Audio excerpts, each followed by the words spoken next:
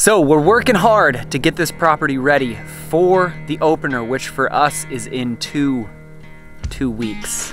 On part of the property, we have some cattle. We have uh, access to the, to the south end of the property through a gate. We don't want to use the gate. We want it to be a little bit quicker, a little bit easier in the dark. So we are putting a custom made quad and six wheeler cattle guard in.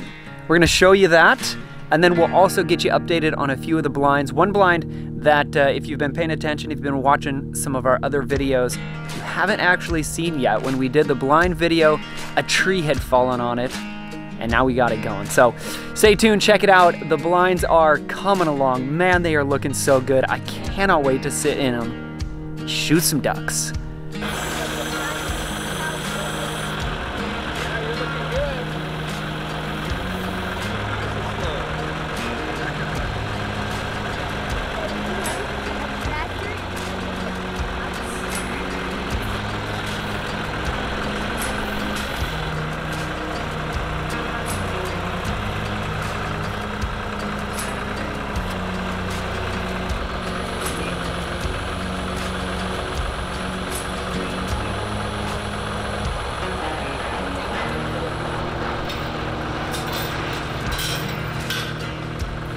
See it like Testing my He-Man.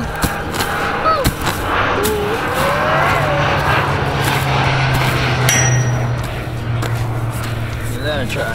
Oh yeah. Get this up here and then we'll get this all hot. Oh.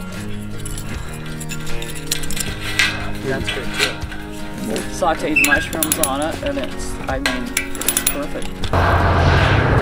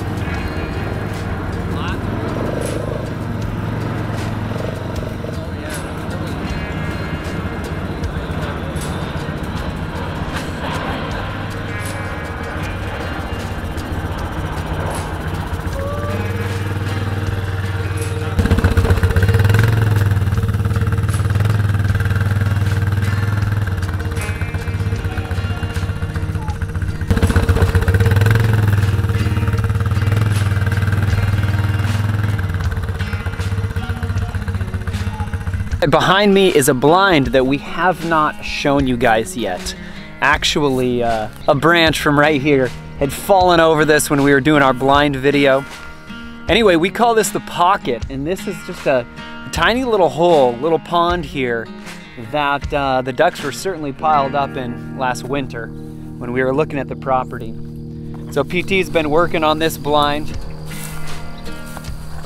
Pretty stinking awesome.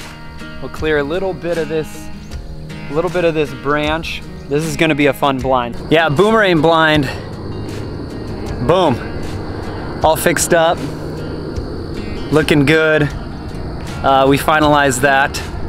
And uh, so here's a, here's a couple clips of that. Here's a quick flyover of our corn. Some of it is already starting to get some water in it. A bit of a battle we're in with the beavers. Trying to keep it dry until we decide to flood it ourselves. But the corn is looking so good. This should hold a lot of birds. And the last thing we want to show you in this video is our Willow Pond blind. This hunting blind is really, really coming together. So this pond here is going to be our best duck hunting pond. It is in a prime location. Right now it's holding anywhere from 150 to 300 birds every time we go into the area. It is gonna be really good. It is a natural spring.